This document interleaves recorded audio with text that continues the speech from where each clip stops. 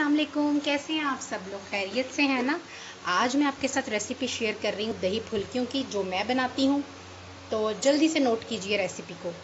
ये देखें मैं यहाँ पर ले रही हूँ एक कप मैदा, ठीक है?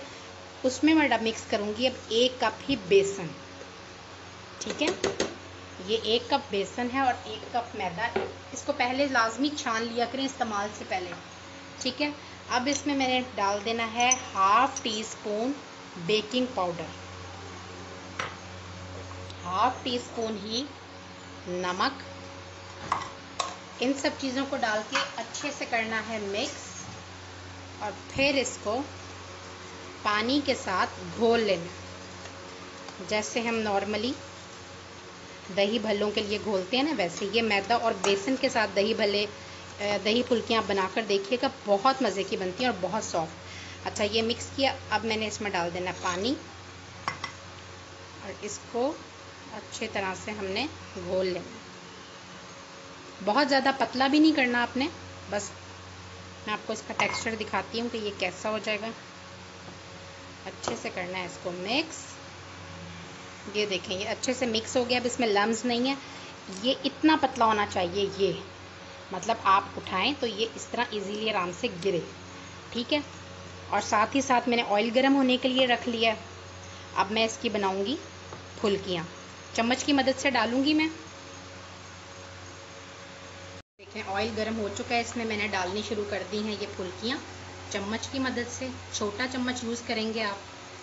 ऐसे चम्मच लिया, ये भर के, और यहाँ पे ऐसे आराम से उसी के ऊपर ऊपर डालना है।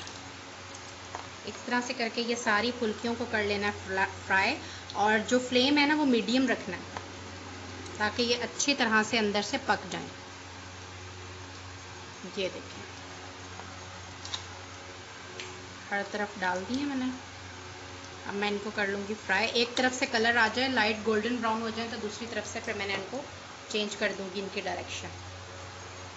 ये देखें, दो से तीन मिनट में कितनी अच्छी फ्राई हो चुकी हैं ये। अब मैं इनको निकाल लूँगी और नेक्स्ट जो है वो और डाल दूँगी। ये देखें मैं जो बाकी मिक्सचर है, उसकी भी सारी फुल्कियाँ बना लूँगी। इस तरह से करके चम्मच में लेकर और चम्मच को वहीं रखना है उसके ऊपर, ठीक है? ताकि वो राउंड शेप ही में रहे शेप उसकी ख़राब ना हो। इस तरह से करके इसकी फुल्कियाँ बना लेनी है सारी। ये देखें, फुल्कियाँ जो हैं वो तमाम बन चुकी हैं। अब मैंने इसमें खुला सा डाल देना है पानी। और इनको पाँच से छः मिनट के लिए रहने देना है इस पानी में ही, ठीक है? उसके बाद क्या करना है कि पानी से जब ये भीग जाएँगी ना, अच्छी तरह से सॉफ्ट हो जाएँगी, पाँच से छः मिनट में हो जाती हैं तो मैंने सिर्फ़ हाथ से यूँ निकालनी है। इनको बिल्कुल भी निचोड़ना नहीं है, तोड़ना नहीं है, ठीक है? सिर्फ़ हाथ से यूँ निकाल के मैं इनको डाल दूँगी दही के अंदर। जी, फुल्कियाँ जो हैं वो पानी में भीगी हुई हैं। ये है मेरे पास घर का बना हुआ दही। इसके अंदर मैं डालूँगी half teaspoon garam masala, half teaspoon chaat masala और हाफ़ टी स्पून ही काली मिर्च। आप चाहें तो इनकी क्वांटिटी को ज़्यादा कर सकते हैं। नमक, हसबे ज़ायका या वन टीस्पून ठीक है? अब मैं इनको कर लूँगी अच्छी तरह से मिक्स दही के अंदर। और इतने में फुल्कियाँ जो हैं हमारी, वो भी भीग जाएँगी। फिर मैं उनको इस डिश में डालूँगी जिसमें कि मैंने इनको सर्व करना है। इसको अच्छी तरह से मिक्स कर लूँगी।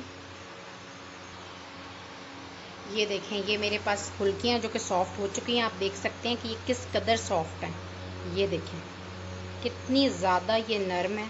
अब मैं ये फुल्कियाँ मिक्स कर दूँगी इस दही के अंदर और मैं दिखाती हूँ आपको इसकी फ़ाइनल लुक ये देखें जी, दही फुल्कियाँ हो गई हैं रेडी दही फुल्कियों के अंदर किसी भी किस्म के प्याज, टमाटर या आलू वगैरह का इस्तेमाल नहीं किया जाता, सिर्फ़ दही में फुल्कियाँ ही होती हैं। और ये इमली की वही चटनी है जो मैं पहले आपको बनाना सिखा चुकी हूँ।